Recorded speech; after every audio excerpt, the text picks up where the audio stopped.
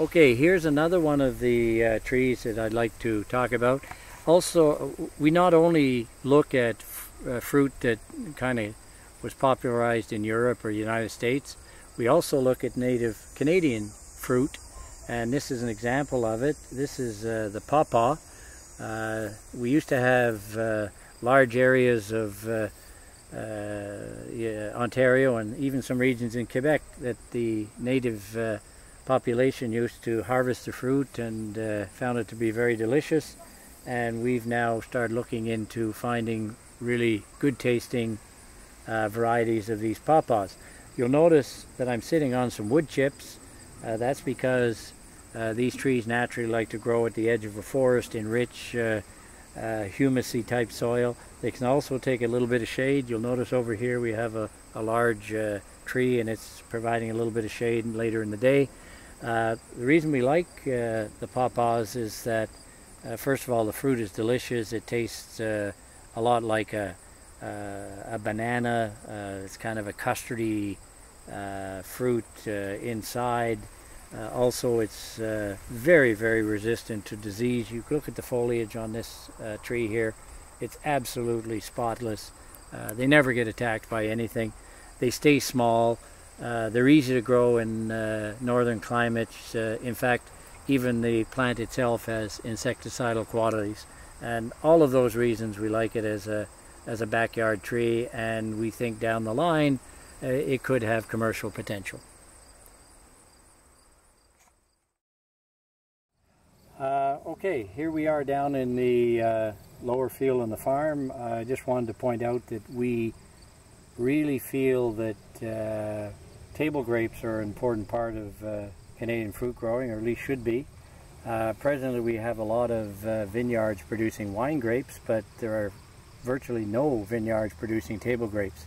Yet we import something like 400 million a year in uh, seedless table grapes. And here's our example of a Thompson uh, seedless table grape that's imported.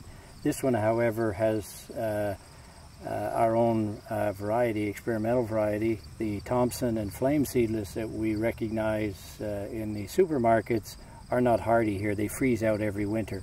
So what we have down behind me is an entire row of experimental table grapes, uh, whether they're red or blue or green. Uh, we're basically looking for ones that will mature in our short uh, season and take our cold minus 40 winters. Uh, two winters ago, uh, the vigneron who takes care of this for me, um, he put a thermometer in the in the vineyard hidden in a location that I can't see to bias the results, and it was down to about minus 39 in this vineyard two years ago.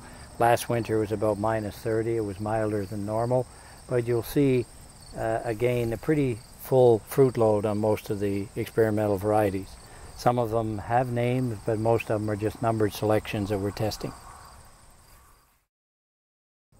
Okay, here we are in our uh, experimental apple orchard. Uh, what we do is we graft uh, some old-fashioned varieties, some of the new varieties out of research stations, and we're trying to find apples that will grow without spray, and we do it on a very, very dwarfing rootstock so the apples produce very young and they stay small so we can fit a large number in our experimental plot. Here we have uh, a green apple. If you look at it, uh, we're able to evaluate the apple when the tree is very young. You can see it's only a couple feet high. Uh, you'll notice the apples have no scab. These have not been sprayed with any pesticide. They have not been sprayed with any fungicide. We have not watered them. We've not fertilized them. We basically want to look at the quality of the apple and then we can uh, graft it onto whatever rootstock we decide to uh, use later on. Uh, this apple is called Landsberger. Uh, it's similar to a Granny Smith. It's a little bit earlier. It's similar in taste. And we have many others you'll see up and down this row. In fact, I've brought one from a little bit further down where one of the other characteristics we look at, if I can get this apple here in front of you, uh, this uh, and this apple, uh, we've chosen not because of the uh, size of the apple, but more the color of the flesh. If I take a second here to open this first apple, this one here is called Purple Passion, and you'll notice if I take a piece of uh, the flesh you'll notice that the apple has a very nice red coloration which will show as red juice if you squeeze it. If you make an apple pie uh, the flesh of the pie will be red. It has uh, potential as a processing apple. It's a bit tart but it makes a great drying apple as well. We have several red varieties. Here's another one. This one's called uh, wonder red. Again you will see if we cut it it has a beautiful red colored flesh again uh, useful for processing into pies or sauce as, al as well as a good eating apple.